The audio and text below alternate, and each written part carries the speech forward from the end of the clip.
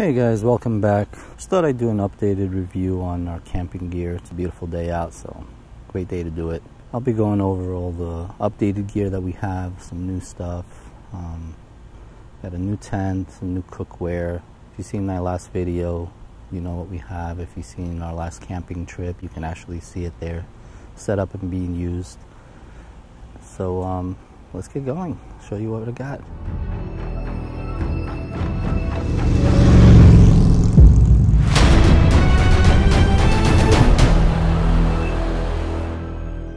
Okay, so let's get going. I'm going to go over this in a couple of different sections. We're going to go over the sleep stuff first. Sleeping, the tent, I'm sorry, sleeping bags, pillows, mattresses, things like that. Um, what goes with the tent is also the chairs. You Gotta have a place to sit. Um, then we'll go over the cookware, what we use for the cooking, and then miscellaneous things um, that you don't have to have, but it's good to have and just makes things easier. So let's start with the tent. This I'm very excited about. This is my new Kelty Gunnison 3.3. Um, in my last video, I mentioned to you guys I would be looking for a new tent, so I did finally get it. I haven't used it yet, but I did try it out and set it up. I'll actually show you a clip of what it looks like set up. And it's a great tent. I'm very happy with it. Got a good deal on it. And um, it's a three person tent. Uh, the reason I went with a three person, not because I need the room. Um, we're two people. We've been camping in a two person tent for a while. If you look at my last video, you'll see it there. Um, but the reason I went with the three over the two is very simple. It's the same pack size as the two and it was only about $40 more. So if it's the same pack size and I can get more room out of it, you know, why not? You got to keep in mind that tent is not always just for sleeping. If you're on the road and you're doing a long road trip and you're just spending the night in it and going from one place to the other every day, then that's one thing. But a lot of times you're going to be in your campground, you're going to spend the weekend there or a couple days, whatever the case may be. And let's say you have bad weather, it's raining or snowing or whatever the case may be, so you're forced to stay in your tent. So if you're in your tent and you have a very small cramped tent, it doesn't make for a good camping experience.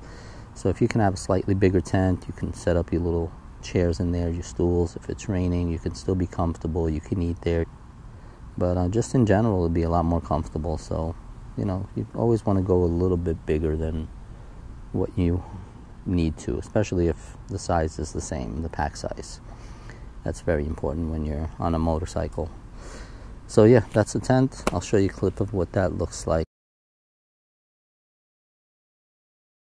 The next thing over that goes with the tent is this little brush. This is very small, doesn't take up a lot of space, but it really helps out a lot, helps you keep everything clean you can sweep all the dirt, rocks um, under it first of all when you're laying down the footprint, and then also as you're getting in and out of the tent, it's inevitable. You're going to get dirt in there, you're going to get rocks in there, so this will help you sweep everything out. So that's something we always bring. Um, these are sleeping bags. These are, I believe, rated at 32 degrees. They're not super warm. They're not super cold. I've actually used these um, just on our last camping trip, it was pretty warm. It was about 80 degrees, and I was still comfortable. Um, I don't think I would trust it to extreme cold, anything below 32 degrees, even below 40 degrees. I don't think I would use these. I would go something warmer. I am in the market though for something a little more compact. I mean, they are pretty small, but if I can find something a little more compact, I'm gonna go for it. Um, we got our little rubber mallet sometimes we bring this, sometimes we don't. Um, our last trip, you'll see we didn't, and you can actually see Nina um, putting in a couple of the stakes with a rock that she picked up. It works. Um, if I have the extra space, I will bring it. If I don't, I'll leave it home. It's not a big deal. Uh, let's see what we have here. We got our chairs. These are great. They don't take up a lot of space. You see, they're only maybe 24 inches long. Um, they set up like this. You can just sit them down, have a seat on it, and you can use it inside the tent, outside the tent. They're not super comfortable. They're not meant to be sat on for long periods of time. They come in handy. So sometimes we will bring them, sometimes we won't. It depends on where we're camping. Um, if I know there's going to be a picnic bench, I'll leave them home. If there isn't, or I'm going to be on a long road trip and I don't know where I'm going to end up, I will bring them. Here we got our pillows. These are just regular travel pillows. Um, I'm also in the market for new pillows. I'm going to replace these and try those inflatable pillows. I don't know how well they work, but I got to try one and see if I can get the pack size a little bit smaller than this. It would be great because you see we got two of them, one for me, one for Nina. While they do compress, if I can get a smaller, more the better, as long as I don't sacrifice too much comfort. Um, next, we'll go into the sleeping. This here is our inflatable air mattress. This is a queen size. I actually have it in a stuff sack, um, just because it helps you get the size down much smaller. This is actually a little bit compressed, but you can see I can go even further with that. And you can probably keep going and get it down couple inches smaller.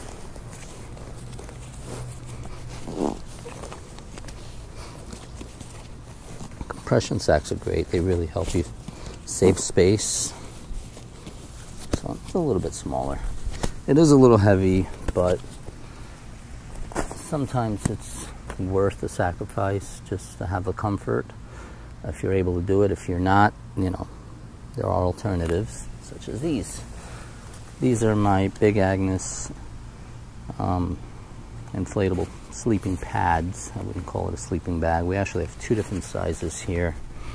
One for me, one for Nina. You can see one is uh, 20 by 17 by 2.5. The other one is 2066 by 2.5. The 72 obviously is mine. I'm a little taller than Nina.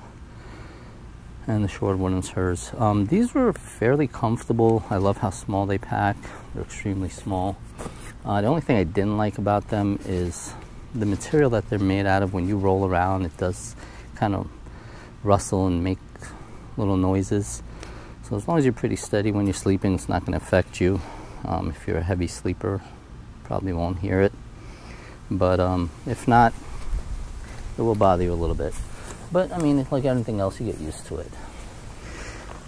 Um, for the inflatable mattress, also for the sleeping pads, I do have a wireless portable pump it's not very big, but it gets the job done. It inflates and deflates. Works on D-size batteries. Comes with these little attachments here for different sizes, different size ports. Uh, the one for the air mattress is this one here. And then you have these for various things. For the sleeping pads, I actually use the skinnier one here. This one you can use for like inflatable mattresses uh, for the beach or you know, stuff of that nature. Um, I really like this because it's not extremely loud like the ones that plug in, and because it's battery operated, when you're on the road and you don't know if the campground you're going to end up in has power, this works great. this is something I just picked up. I haven't even taken it out of the bag yet. Um, this is a mosquito netting. This is actually made for like beds, things like that, but um, I saw a review on it. You see there it says mosquito net for queen bed. Comes with its own bag and a hanging kit. It weighs literally nothing. Uh, because of the material, I can actually compress it much, much smaller than what you're seeing right now. Um, certain places you'll go to will have a lot of mosquitoes, especially if you're going up north. Um, we want to go up to Canada and Alaska, and I know this bug situation there is horrible. So this will work great with the tent. It was only a couple of bucks, maybe 10 bucks, 12 bucks, something like that. I can't remember. But um, that will help out a lot. You know, it'll help keep you comfortable, keep the bugs out, give you a place to sit, to eat, whatever it is. You can put it directly over your tent, or you can tie it between a couple of trees and actually use it as a place to sit and eat. Um, not a necessity, but good to have, provides comfort. Next, let's go into the cookware. This is something I just picked up also. Haven't had a chance to try it out yet. It's called MalloMe. It's a great mess kit. show you what that looks like. If you look at my other video, you'll see we had a different cook set we used. It was a little metal um, cook set I picked up cheap. I think it was at Target. Um, this is a little bit more expensive, but you know, I think we'll get more use out of it, more comfort. So basically you have several pans here. This is more like a frying pan. What I like about them is they have these fold out handles. So it makes it easier to grab. They don't get hot. Um, I saw some reviews there. People made eggs in it without even adding any oil or anything and it was truly non-stick. Nothing stuck to it. Um, I've yet to try it so I can't comment on that but the material seems pretty good and uh, I think we'll we'll enjoy using them. Here you have another pot with the lid slightly bigger. Same thing, you have your two handles. This I'll probably use more for boiling water, making coffee, soup, things of that nature. Comes with two little, I don't know, you would call them bowls, cups. I guess you can use them for whatever you want. Um, get this little, I guess to scoop up your soup or whatever it's, I don't know what it's called, but uh, I don't even know if I would take that with me. I might just leave that behind. Nice little wooden spatula. That would be good when you're making eggs. Scrape them off of the pan. Um, comes with a spork. I'm not going to be using this. I mean, it is metal. It does seem to be pretty well made, but um, we do have. Uh, I got to find them. I don't know where they are, but we do have these two. Almost looks like a little pocket knife that opens up, and it's a spork. And if I find them, I'll actually add a picture of them in this video. it Also comes with a little sponge to scrub it. I don't know how well it's gonna do. I don't even know if I'm gonna bring it. We actually use these right here, which I recommend. These are pretty good. These are camping soap pads. A little sponge. Comes with the soap already in it. So all you gotta do is just wet it a little bit and um, you can probably get two or three days of washing your pots and pans out of it. And then you can just throw it away when you're done. So yeah it's made by Scotch-Brite comes three to pack. Down to my last one so do need another one. They don't scratch. They're um, they're, they're very convenient. You don't have to carry soap with you. So that's that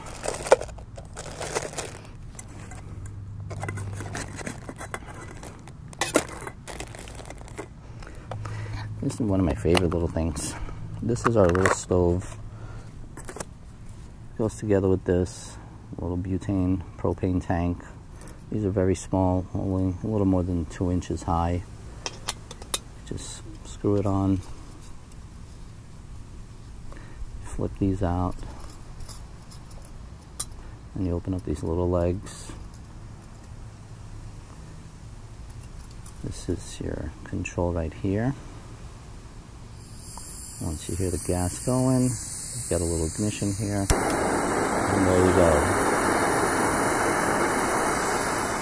On high setting, this boils water pretty quick.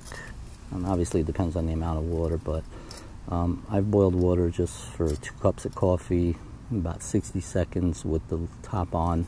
It really does help when you're boiling water. Keep the top on.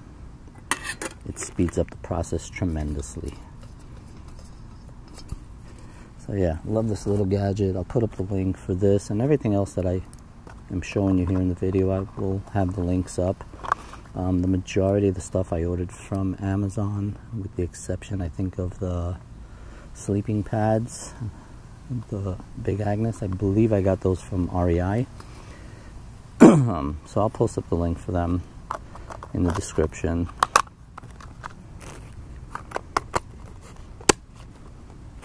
This I got on Amazon for $10.99, 11 bucks. Really good deal. This I just picked up on the road. Okay, now we can go into the miscellaneous stuff. So, extension cord. If you're camping, there's electric there. you want to bring it into your tent, plug in your chargers, etc. This comes in handy. Not very big, doesn't take a lot of space. I do have a bigger one that sometimes I will use, but um, on the road, generally, this is what I'll take. It's more than enough. And it's got one, two, three outlets. So you can plug in three, three different things. Um, speaking of plugging in, this is basically my portable charger. It has four USBs, so I can plug in my phones, I can plug in our headsets to charge, uh, my GoPro camera if I need. Um, one charger, one box, very compact, comes in handy. This you've seen in my last video. This is my uh, auto light, as it's called. It's getting a little windy. it's basically an automatic LED flashlight, which I'm purchased to use in my top case um, because it's it is automatic. So when you lift the cover of the top case, it's supposed to light up. When you close it, it'll shut off. Um, haven't figured out where to mount it yet in a way that works. So I do bring it on the camping trips. Um, gives you a fair amount of light. So yeah, that's um, something convenient. Repair kit for the tent, sleeping pads, anything. Doesn't take up a lot of space. I could take it off of this uh, carton, cardboard wrapper, but I don't know why I leave it. Doesn't take up any more space, so. Um, always good to have. You never know if you're going to puncture it, and you're away from home, you're away from any place where you can buy a repair kit or a replacement, so it's good to have. It doesn't hurt. Next, my Leatherman tool. This comes in very handy for obvious reasons. Uh, you got pliers, knives, scissors, all kinds of stuff, can openers. I always carry a little pocket knife on me also. It's good to have. Um, flashlight. This is a flashlight I picked up also on Amazon. What I like about it is that you can actually focus the light. I don't know if you can see that there. But you can either have a wide beam or you can zoom it in and it'll shoot the beam out for pretty good range. So if you're camping, you hear something far away, you want to zoom in on that item alone, you can get the light pretty far out. It works very well. Um, super, super bright. Um, it works on a rechargeable battery. I actually always carry a pack of batteries here. Each one of these batteries will generally last for about a week or so. Um, the reason I have three of them is not that I'm going to be on the road for three weeks without being able to charge them because I can always charge them on the bike. Um, but we do have another flashlight, same thing. So if I'm going to take a shower to the restroom, and Nina needs to go as well at night. So we have two different flashlights. They're both the same kind. Um, this is also something, it's not a necessity, but it has saved my butt on more than one occasion. Uh, we were actually camping in the Keys once, and when I set it up, the tent, we got there at night as we usually do. We have a problem getting there early uh, we got there late, so what I did is I left the headlights on on the bike. I figured it should be good just for a quick uh, setup of the tent at least. And sure enough, by the next morning, the battery was dead. Um, we were on gravel and dirt, so there was no way I was going to jump start it. Um, so I figured I need one of these. And the way this works is has a plug that connects into here, and it has two little jumper cables plug it up to your bike, start your bike right up. It's great. It's not just a power pack. This is specifically for boosting cars and obviously works just as well on motorcycles. It does have the added advantage of two USB ports. You can charge your cell phones, GoPros, whatever. There's also a flashlight on the top right there. Um, doesn't take a lot of space. It's, I believe, 15 or 18,000 milliamps. I'm not sure. Um, it has lasted a pretty, pretty long time on single charge. I Haven't charged it in weeks, and I have used it. So handy to have, especially if you're going on a long distance trip. Um, you know, you can get stranded somewhere, you forget your ignition on, it happens. So yeah, that works. Fire starter, It's another good thing to have. They're small. I don't take obviously the whole box. It's just for showing you. Uh, these are made by Zip. I think I got them in Target. It's about 12 in a pack. Only a couple of bucks. Um, they work really good. They'll stay lit for about 15 minutes or so. So you just light the ends of the plastic here, put some wood over it, and you got a fire in no time. Next, this is not a necessity again. This is a luxury item. Um, if you're going to be in a place where the weather is going to be bad or there's water, if it's the beach or camping on on a lake or whatever the case may be, this is a watertight case. Keep your valuables in it. Um, I keep my money clip in there. I'll keep my um, my bike keys if I'm going swimming. I don't want to leave the keys behind, have somebody steal something. So I'll lock up everything in the panniers and I'll take this with me, strap it around my neck, and it keeps everything great. I just realized my camera got knocked over. So, last couple of items. This I covered also on our last camping trip. This is a bug repellent, works really well. Uh, works with a little gas cartridge. Turn it on, you have an ignition here, and you have these little pads that you replace every now and then when they turn white actually. Um, it does really good keeping the bugs away. Um, this is also something very handy. This is a little pouch that opens up into a backpack. So I carry this. It doesn't take a lot of space. A lot of times you leave camp, you want to go somewhere and do whatever. Um, this gives you a way to carry your things in without having to bring a large backpack with you. Uh, also, it wasn't expensive, about 15 bucks. I got it on Amazon, I believe, as well. A lot of shopping on Amazon. But yeah, lets you carry things if you're going swimming, bring a towel or whatever the case may be. Sometimes we'll buy things on the road, throw them in here. You got straps. So very cool, very convenient. Rolls up into its own sack. Works great one of my favorite things, um, turns out to be one of my favorite things, is the ice mule.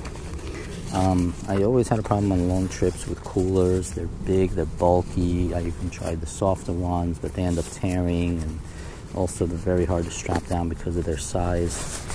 And I saw this and I said, I'm going to give it a try. They advertised that it would keep ice for 24 hours. Um, I would say it keeps ice with regular use uh, for about 12 hours. And when I say regular use, that's opening and closing it several times a day. And the only way I would see this thing holding ice for a full 24 hours is if you don't open it. But um, it's a fairly good size. This is the medium size. I didn't go with the large. I think this is plenty big. Um, I don't keep this rolled up, as I mentioned in my last video. What I'll do is actually open it and I'll fill it up with my items. Instead of having the items taking up space and then this taking up space, I'll stuff my items in there, be it clothes or some gear, maybe the pads. Um, I got new gear, so I kind of have to repack everything and see how everything goes. But I'll get everything into here, and this just rolls up. Clips together and it has done a good job of keeping stuff cold for well over 12 hours. The, the ice in there did stay for 12 hours. So that's that's a good thing. Seems like we got an amber alert.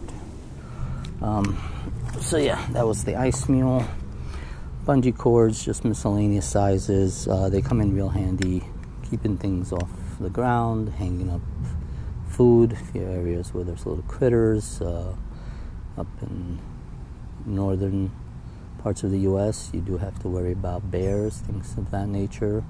Um, so you never want to keep your food down. You want to hang it as high as you can off your campground, off your campsite. Um, avoid them coming to you, and it just comes in handy for hanging pretty much anything. Very good to have. They don't take up any space, so why not?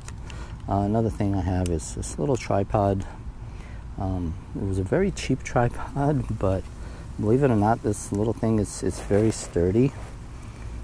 Um, and the legs open up to good height. So you know, it's small, but if you want to film, take pictures, whatever the case may be, you know, little tripod doesn't hurt. So that's about it for the general things that we bring. Um, if you have any questions, please leave a comment. If you have any comments, do so as well. Uh, if you think there's anything I missed, let me know. Anything you think I can do without, let me know. I'm always open to suggestions, always looking to improve our camp setup. Um, we're getting a little more experience now. We're taking longer trips. So I just thought I'd share what I've learned and what I've decided to go with based on my experiences. And that's about it. Thanks for watching. Um, like and subscribe if you want to see the stuff in action. Look at our other videos. So, again, thanks for watching. Hope you enjoyed it, and we'll see you on the road.